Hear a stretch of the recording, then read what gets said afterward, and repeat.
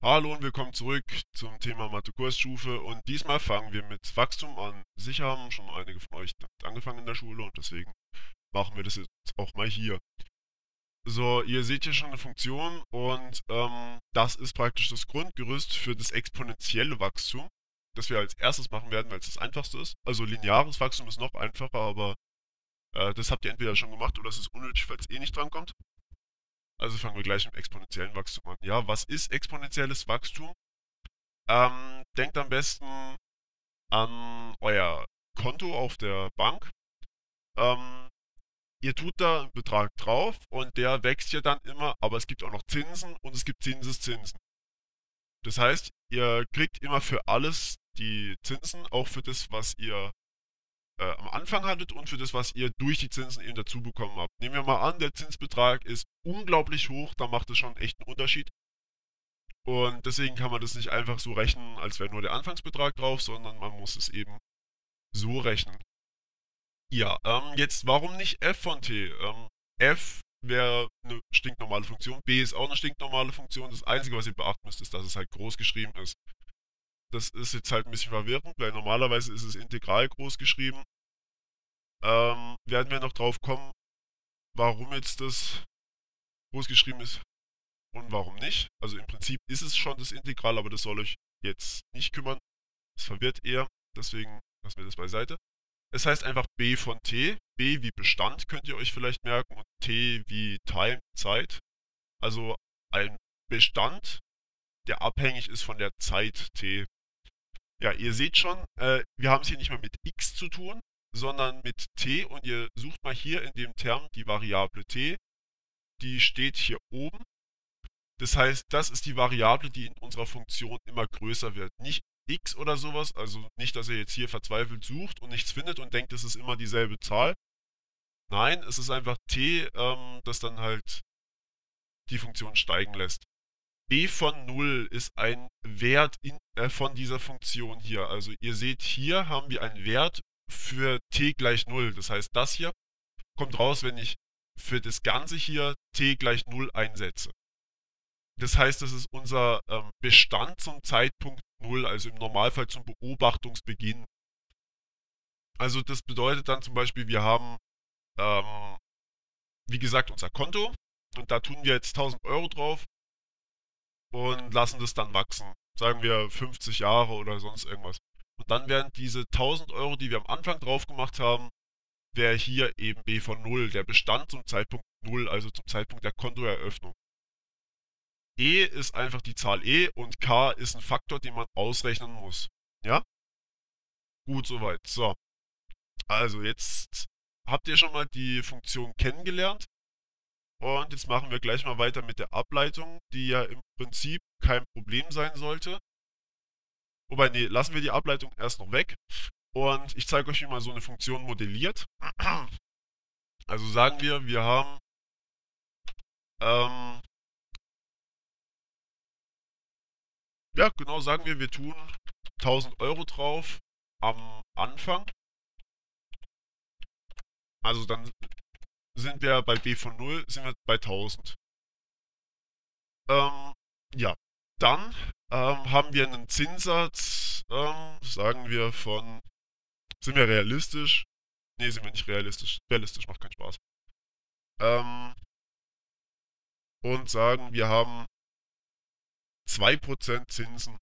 Das ist schon unglaublich viel eigentlich.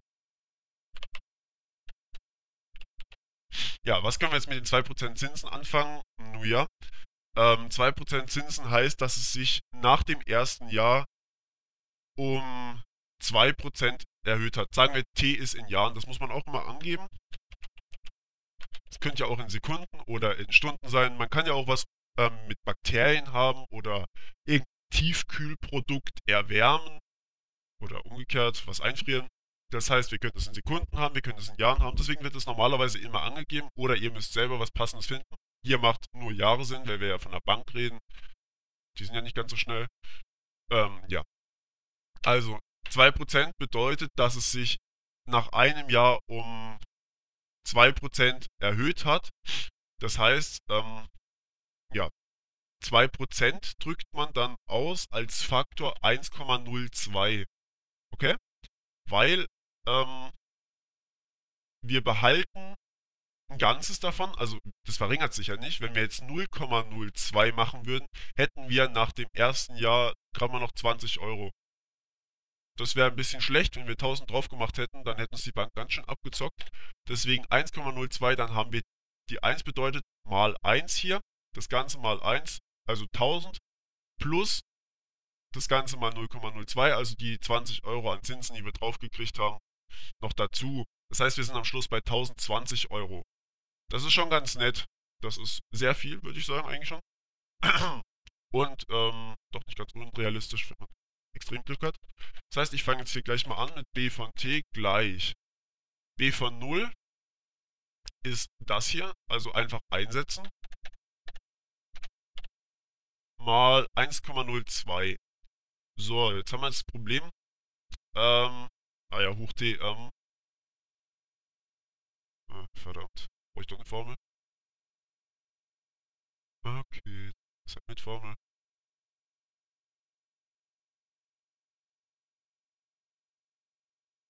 Hoch t. So, jetzt. Ähm, also b von t ist praktisch einfach der Funktionsname. Nennen wir es b von t statt f von t. f t könnt ihr euch aber darunter vorstellen. 1000 ist der Anfangsbestand, dann mal, wie es in der Formel steht, e hoch kt. So, jetzt haben wir ein kleines Problem. Wir haben hier nur 1,02 hoch t. Bekanntlich ist e irgendwas mit 2, ja. Wie kriegen wir jetzt das umgeschrieben? theoretisch können wir auch schon damit rechnen. Normalerweise, wenn es heißt, ihr sollt so eine Funktion modellieren, erwarten sie aber immer, dass ihr e hoch kt schreibt. Also, ähm, wir nehmen jetzt einfach diesen Teil hier.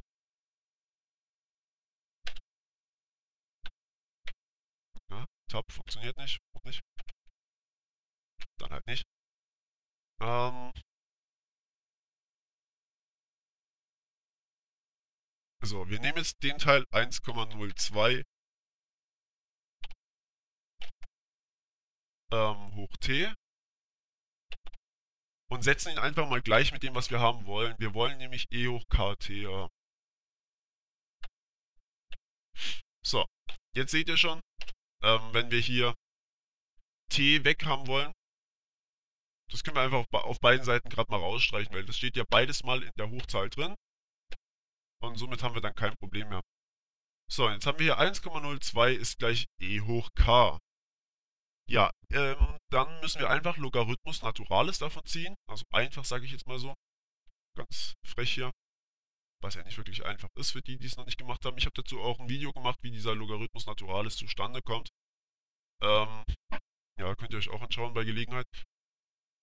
Ist aber nicht so wichtig. Ähm, der hier ist wichtiger. Und zwar ähm, das ist, funktioniert eigentlich wie der normale Logarithmus. Das ist eigentlich der normale Logarithmus zur Basis von e.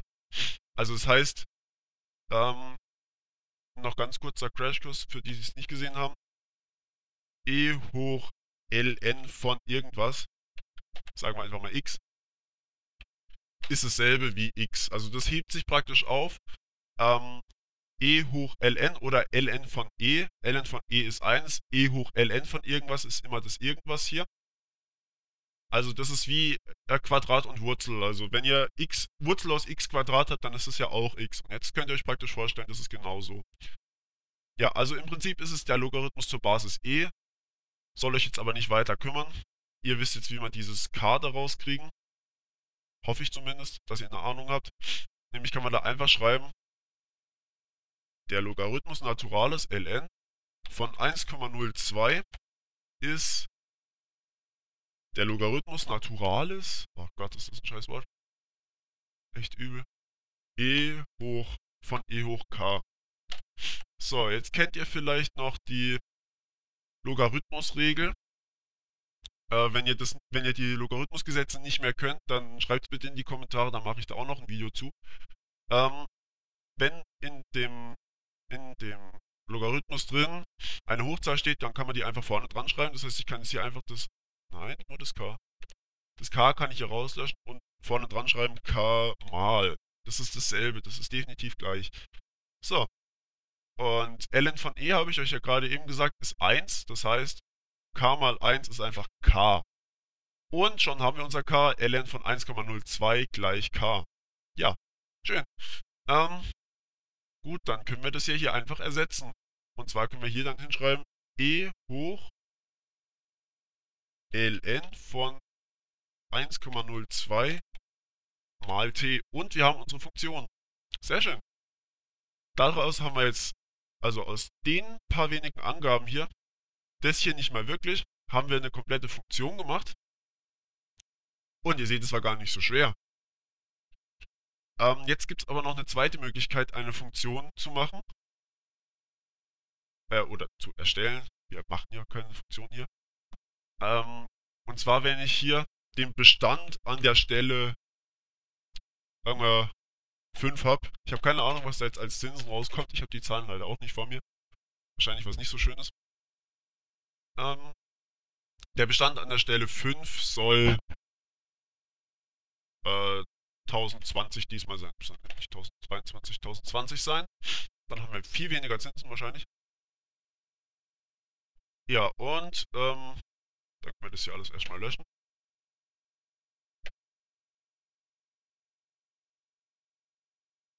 Dann haben wir hier, also nach fünf Jahren hat man dann, steht normalerweise als Textaufgabe da, normalerweise steht dann da, am Anfang tut man 1000 Euro auf dem Konto, nach fünf Jahren hat man 1020 Euro auf dem Konto.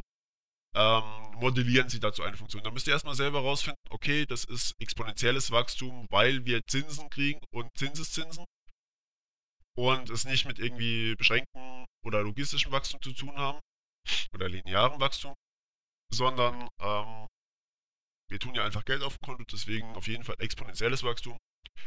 Ja. Und ähm, nach fünf Jahren bedeutet Bestand von 5, ähm, am Anfang bedeutet b von 0 und dann eben das hier. So, und jetzt ähm, können wir hier mal anfangen zu modellieren. Wir sagen einfach b von 0 können wir ja gleich hier einsetzen und b von 5 können wir einfach hier statt b von t schreiben wir jetzt hier b von 5 gleich hin, also 1020 ist gleich. So, jetzt haben wir hier für t 5 eingesetzt, weil ja hier b von 5 steht. b von 0 ist 1000 mal e, äh, ja, wo ist es?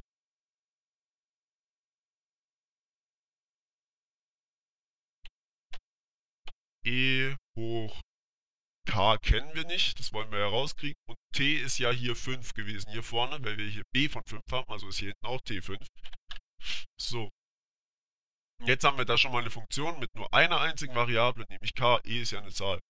Yay, daraus können wir doch was machen. Was können wir daraus machen? Ich kopiere das einfach mal hier runter, dass ich nicht mal alles abtippen muss. So, ähm, wir können hier erstmal durch 1000 teilen. Das heißt, wir haben hier, ach du Schande, das wird keine so schönen Zahlen. Das tut mir sehr leid.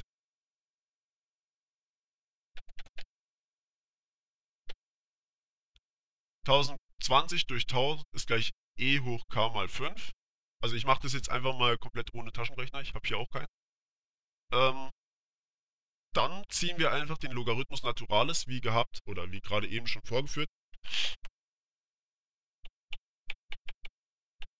aus ähm, auf beiden Seiten. Und nochmal zur Erinnerung, wenn ich den Logarithmus oder allgemeinen Logarithmus habe, dann kann ich die Hochzahl einfach vorne dran sch schreiben. Hier steht jetzt eigentlich 5k, nicht e hoch k mal 5. Da kann man ja einfach 5k dazu sagen. Können wir hier rauslöschen und vorne dran schreiben 5k mal ln von e. ln von e ist 1. Das heißt, das können wir auch rausmachen. Ja, das nicht. Nein, sei mal nicht so hier.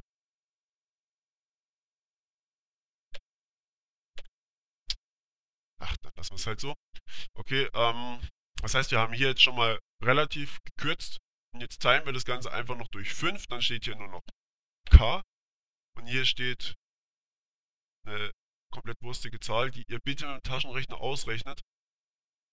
Und ähm, wenn ihr einen Lehrer habt, das müsst ihr echt mit eurem Lehrer abklären. Das ist sehr, sehr unterschiedlich.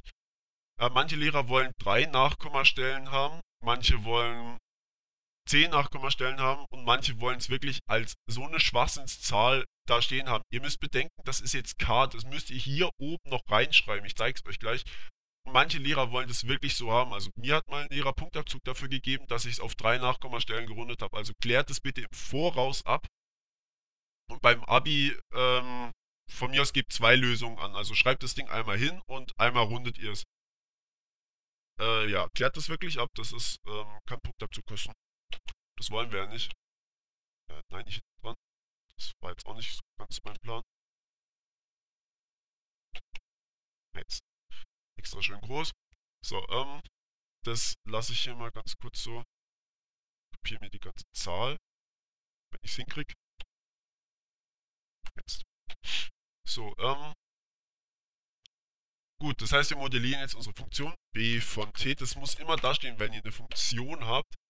A muss es immer komplett dastehen. b von 0 können wir aber einsetzen. 1000 mal äh, e hoch.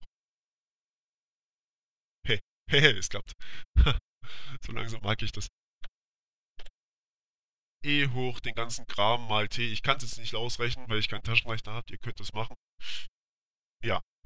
Und das wäre jetzt unsere Funktion, wenn wir in fünf Jahren 1020 Euro haben und am Anfang 1000 draufgetan haben. Also es gibt wie gesagt diese zwei Möglichkeiten, wie ihr eine Funktion machen, äh, erstellen könnt, modellieren könnt auch genannt und ähm, ja, das wäre es dann mal. Zur Ableitungsfunktion mache ich dann wahrscheinlich das nächste Mal was oder beschränktes Wachstum, das wird sich dann zeigen. Ja, und ich wünsche euch ganz viel Spaß beim Üben und ja, bis zum nächsten Mal. Ciao.